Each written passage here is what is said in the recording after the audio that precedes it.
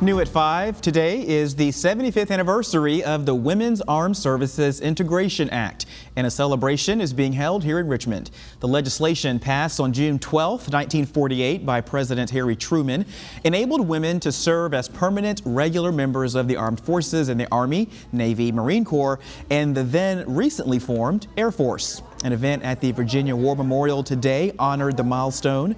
It spotlighted topics that affect women veterans of past, present, and future, including a workshop on hiring. Women have served in the military really since the Civil War, but women have been fully indoctrinated for the last 75 years, and we are in all branches of service, all ranks, and now more billets and opportunities are open to us. So it's important that we celebrate who we are, explain who we are, and what it is that we need. Well, speakers at the event included retired Command Sergeant Major Michelle Jones and Congresswoman Jennifer McClellan.